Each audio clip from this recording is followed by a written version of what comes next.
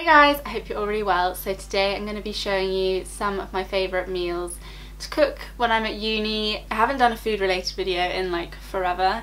Um, I think I've only ever done like random baking videos um, ages ago. So you guys have always been asking me to do like a what I eat in a week um, but I thought this would be more useful just to show you some like easy simple recipes. So yeah I'm going to get started and just chat you through my favourite meals and like what you need, how I do it, um, and everything like that. So I hope you guys find it useful. And if you're not at uni, then it could just be some inspiration for cooking dinner or whatever. So yeah, I'm gonna get started and I hope you guys enjoy the video. So one of my first favourite meals is a chicken Thai green curry. I have been trying to get this right for so long. I've always used the little um, jars that you can get of the paste but it just never tasted quite right. Now I found like the perfect way for me to do my Thai green curry. so what you'll need for this recipe is some baby corn, some Blue Dragon Thai green curry paste, coconut milk, two chicken breasts or however much chicken you want, two onions and then I like to have some poppadoms and rice with it. So the thing that really made it for me with this recipe is to put it all into one pot and just have it on like a 200 and just cook it for like an hour. So I like to just chop up everything basically and just chuck it in a casserole dish and pop it in the oven for like an hour. Um, I do fry up the onions a little bit first, um, just in the bottom of the pan and that is literally it. Just put it in the oven for like an hour um, and then cook some rice before you're about to eat it and it's really really yummy and that lasts me about four meals four or five if I like stretch it even further. But um, yeah I don't have the biggest portions so like if you're a guy and you have bigger portions it probably only do like two or three. Um, but yeah I don't have very big portion sizes. Curries are also great because you can have them with so many different things. Like I have them with chips some night which is really not very good. Um, or like um, what else do I have it with like naan bread so you could just buy a pack of naan breads or you could just have it on its own with some poppadoms or with some rice so like it's a really versatile dish it's just super easy and it keeps really well you can also freeze it and then just have it like later on in that month or something so yeah that's a really good recipe for just not much effort. so my next easy meal is a carbonara. I went through a week of eating this like constantly because it was just so yummy. I'm a sucker for like creamy pasta sauces but this one you don't need any cream which is great because like the reality of you being at uni and using cream more than once for a meal is not very high so this is much easier you just need eggs for the creaminess. So you will need some spring greens, I like these for like just having on the side. Some bacon, you can get the little like pre-chopped ones but they're way more expensive and I think it tastes nicer if you just chop up the bacon yourself. Then I chop out some onion and a garlic, you'll need some cheese to grate um, and one egg and then I love tagliatelle so that's the pasta of choice that I go for. So to cook this can get a bit messy so I would prepare everything first. So I like to chop up the garlic and onion and the bacon and just have it all ready and that all gets fried up separately. So I do like the onion and the garlic first and then once that's browned off I will put the bacon with it or I will just take the onions off and put the bacon on so I don't have to use another pan. And then whilst that's cooking I will boil up the tagliatelle and just cook that through um, then drain it off. And then to create the creamy sauce I'm pretty sure this is a Jamie Oliver recipe but I saw Amber do it once and like it's just stuck in my brain ever since. So basically all you need to do is just whisk an egg up in like a little bowl and then add the cheese into it. You're meant to use parmesan but I just use cheddar because I don't have parmesan.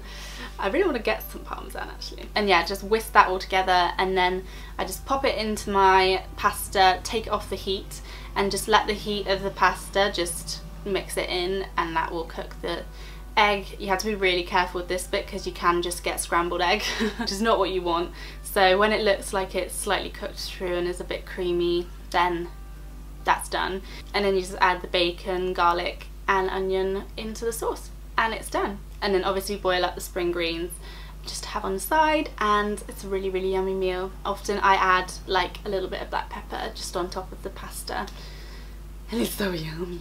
This next meal is definitely one that is more of a comfort food for me.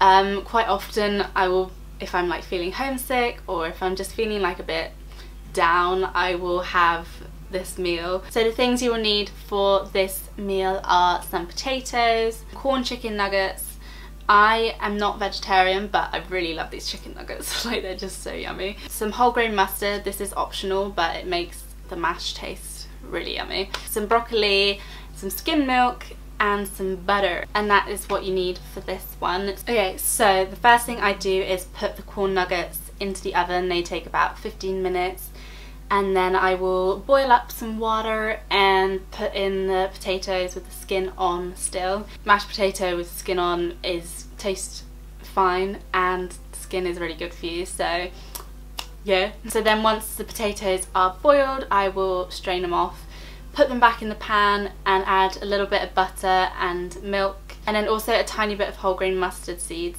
Um, these I put way too much in this time which was really annoying.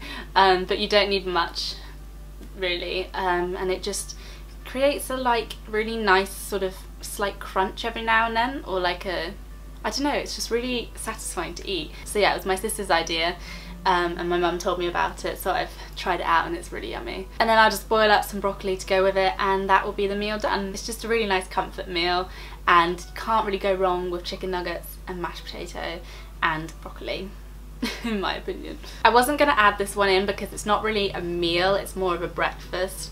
Um, but I've been having it as a breakfast or as like a snack throughout the day because it really fills me up. And it's just porridge with crunchy peanut butter and walnuts and it just tastes so good. so what you need to make this is some large rolled porridge oats, some milk, um, some crunchy peanut butter and some walnuts. And then cinnamon is optional. I don't always put cinnamon in. Um, so yeah it just makes it a little bit sweeter which can be nice. And sometimes I add a little bit of sugar if I really need something sugary. So yeah I just put the oats and a bit of milk into a pan until it cooks cooks really quickly if you're just doing a tiny portion and I just put that in a bowl, whack some peanut butter on top and crumble a few walnuts on top and it's just so yummy. So yummy! Next up is a really nice one if you want something a bit light.